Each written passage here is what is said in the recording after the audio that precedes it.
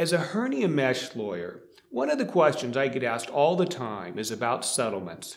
People want to know when is my case going to settle and for how much? The honest answer to this question is that we just don't know.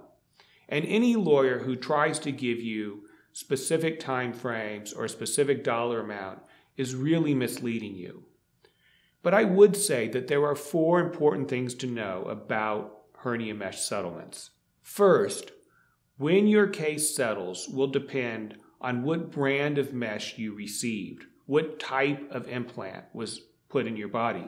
There are five primary manufacturers of the mesh. Each of them is a separate litigation. Each of them is likely to settle at a different time. In fact, it may be that one of the companies settles its cases in 2020 and another company settles in 2025. If I was a betting man, I would probably bet that Bard and Gore will settle sooner and that Covidien and Ethicon, Johnson & Johnson, will settle later.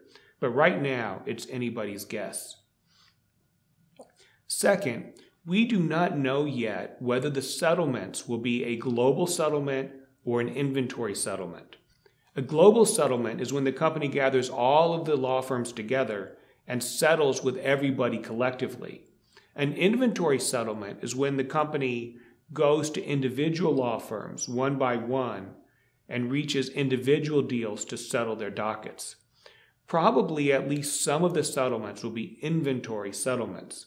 When this happens, the manufacturer will usually go first to the law firms that have the most number of cases and the law firms that do the best job of screening and working up their cases. The upshot is this it makes a big difference what law firm your case is with. Some law firms are likely to settle their cases a lot faster and for a lot more money than other law firms. Third, the cases where the patient had revision surgery, that is, a subsequent surgery to fix or remove the mesh, will probably see the highest settlement values. In fact, it may be that non revision cases, cases where the hernia mesh implant is still in the patient's body, don't settle at all. Finally, as with all mass tort litigations, there will most likely be a matrix. This means that individual settlements will vary based on the strength of the case and the severity of the injuries.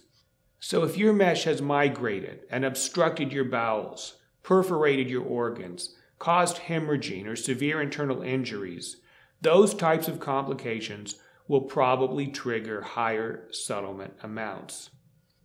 Hernia mesh litigation can be complex and confusing.